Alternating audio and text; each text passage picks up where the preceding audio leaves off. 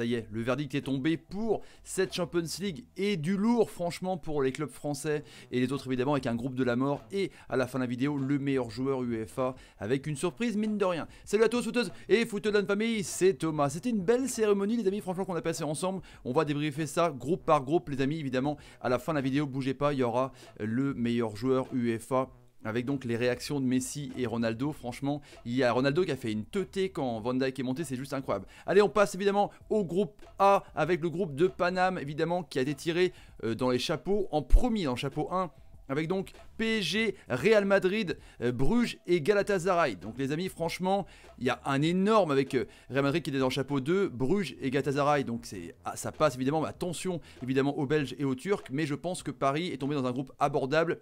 Ils se feront un petit peu euh, la nique avec le Real Madrid, mais je pense que globalement Paris peut s'en sortir au moins minimum deuxième. Mais commentaires les amis, ce que vous en pensez évidemment sur chaque groupe qui déroule pendant ce débrief complet de cette Champions League. Donc Paris, Real Madrid, Bruges, Galatasaray, c'est quand même faisable. Groupe B maintenant, les amis. Groupe du Barça est lourd, vous allez voir les amis. Groupe B avec donc Bayern, euh, Munich, Tottenham, Olympiakos et Étoile Rouge euh, de Belgrade. Donc Bayern évidemment encore une fois un groupe abordable avec donc un gros évidemment quand tu es chapeau 1 tu as forcément un groupe euh, chapeau 2 donc normalement ça passe hein.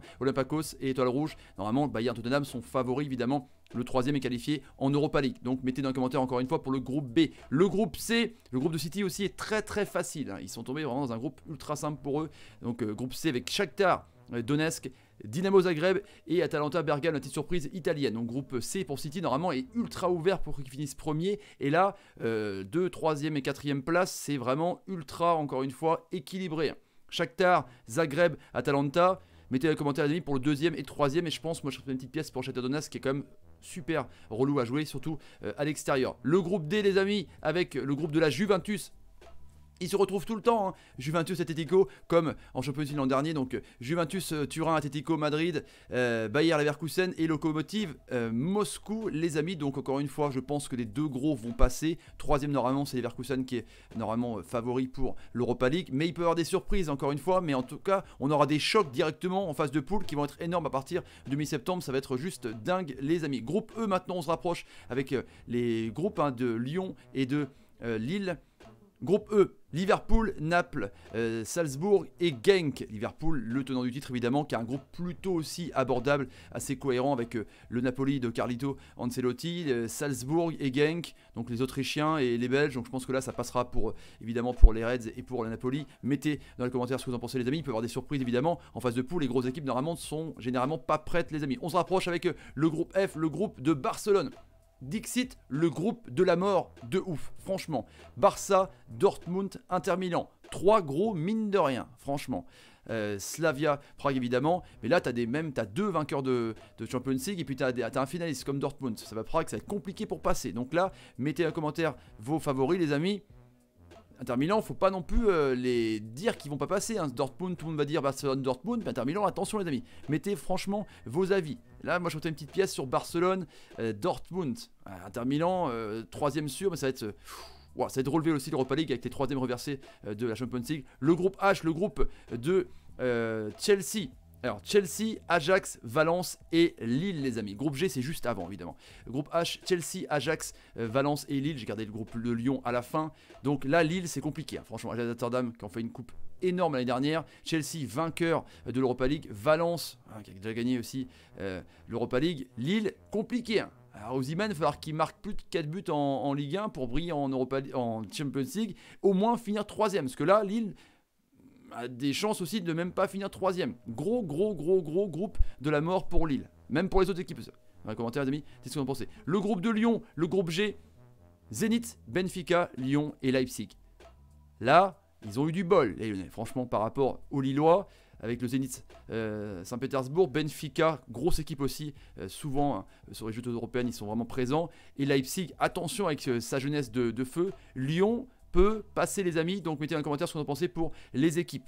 Mais franchement, on a eu du lourd de ouf. Euh, moi, je vous le dis. Allez, les parti, amis, avec évidemment l'élu, le meilleur joueur, hein, le trophée du meilleur joueur UEFA 2019. Évidemment, c'est ce qui va amener à être ballon d'or. Ouais, ça c'est souvent. Modric a été trophée UEFA, il a eu ballon d'or. Là, On va voir qui c'est les amis. Franchement, il y a des surprises. Parce que là, on voyait qu'il y avait des discussions entre, entre Messi, entre Ronaldo. C'était assez intéressant, franchement. Il rigolait. Il s'est interviewé par la présentatrice. Il était là, eh, super, on va, on va se batailler. Euh, c'est vrai, Ronaldo a dit, c'est vrai qu'on dîne jamais euh, souvent ensemble, c'est logique. Mais ils étaient, ils étaient copains, copains. Mais à côté, il y avait quelqu'un qui a eu du coup le meilleur joueur UEFA 2019 les amis, ils sont donc pour Virgil van Dijk et carrément meilleur joueur aussi euh, Première League, meilleur défenseur, enfin le mec c'est une brute épaisse, il avait donc pas de joueur qui avait réussi à le passer en dribble, sauf Nicolas Pepe, et là voilà il a le titre. Donc est-ce qu'il va être ballon d'or les amis? Mettez en commentaire ce que vous en pensez. Évidemment, pas à deux manées. Euh, évidemment, même pas pour un meilleur attaquant. C'était Messi, meilleur attaquant. On va voir ça ensemble. Donc, Virgil van Dijk, meilleur joueur UEFA, vainqueur de meilleur défenseur du monde, peut-être en tout cas. Dis-moi ce que vous en pensez, les amis, dans les commentaires. Et donc, les autres catégories, évidemment, parce qu'il y en avait d'autres, évidemment, avec euh, les catégories sont ici. Donc, euh, meilleur gardien, Alison Baker. Pas trop de contestation non plus il y aurait pu avoir aussi, euh, voilà, il y aurait pu avoir le gardien Ter Stegen, euh, il y aurait pu avoir Kepa Arrizabalaga qui a gagné l'Europa League. Le meilleur défenseur, donc Van Dijk, meilleur milieu de terrain, donc De Jong.